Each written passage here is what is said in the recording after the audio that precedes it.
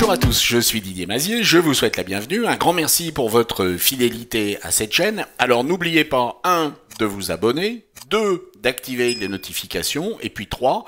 de partager ces vidéos sur tous les réseaux sociaux. Sur LinkedIn, sur Facebook, sur Instagram, et pourquoi pas sur Twitter, TikTok, etc.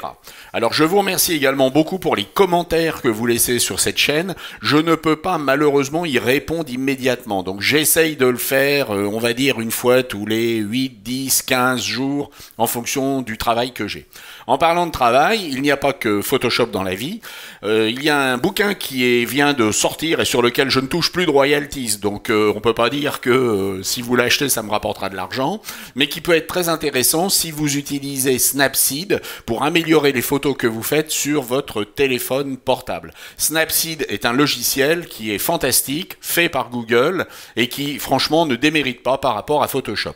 Alors en parlant de Photoshop, nous allons voir comment réaliser cette image à partir de celle-ci. Alors nous allons travailler avec euh, les objets dynamiques et nous allons travailler avec euh, des trames de demi-teinte. Mettons-nous au travail dès à présent. Commençons par convertir ce calque en objet dynamique de façon à ce que tous nos réglages puissent ensuite être modifiés. Nous allons maintenant choisir de sélectionner un sujet, en l'occurrence notre portrait, et nous allons créer un masque de façon à isoler notre personnage du fond. Nous pouvons resélectionner notre objet dynamique et nous allons dans le menu Image Réglages passer en noir et blanc. Tous ces réglages de noir et blanc peuvent bien entendu être affinés en fonction d'une part de votre image et puis de ce que vous voulez obtenir. Par exemple, je peux avoir un contraste élevé ou être sur le système par défaut qui ici me convient tout à fait. Une fois en noir et blanc, avec euh, Command L sur Mac et Ctrl L sur PC, je vais demander les niveaux. Et avec ces niveaux que je vais resserrer, je vais obtenir la suppression de tous les niveaux intermédiaires entre le noir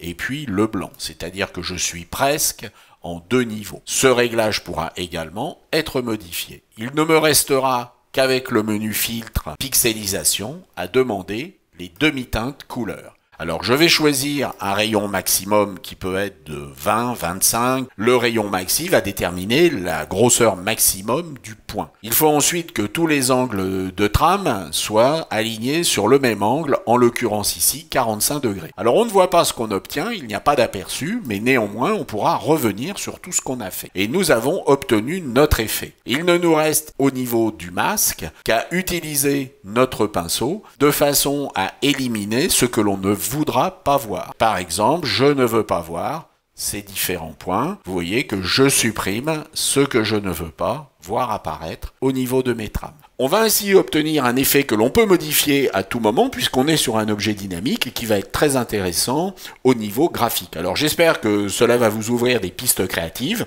et puis je vous dis à la semaine prochaine. Au revoir